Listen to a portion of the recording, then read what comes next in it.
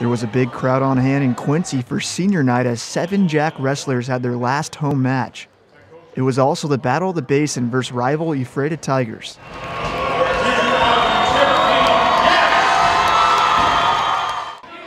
Senior Victor Salgado got things going for Quincy wrestling at 113 pounds.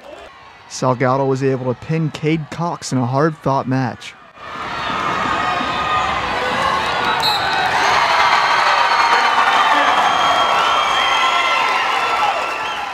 One of the best matches of the night was between Quincy's Raul Barajas and Ephrata's Miguel Rodriguez wrestling at 126 pounds. Check out this double reversal to a pin for Barajas.